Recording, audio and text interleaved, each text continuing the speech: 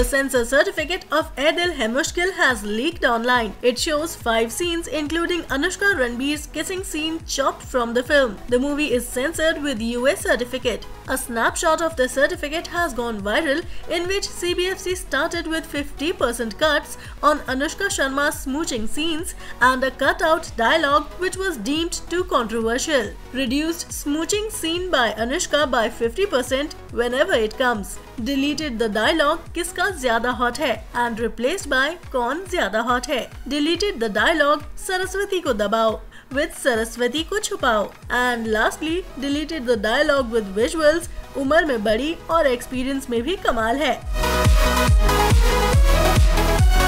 Well thanks for watching this video. Now hit the like button and subscribe our channel to watch more. See you in the next video. Till then, enjoy.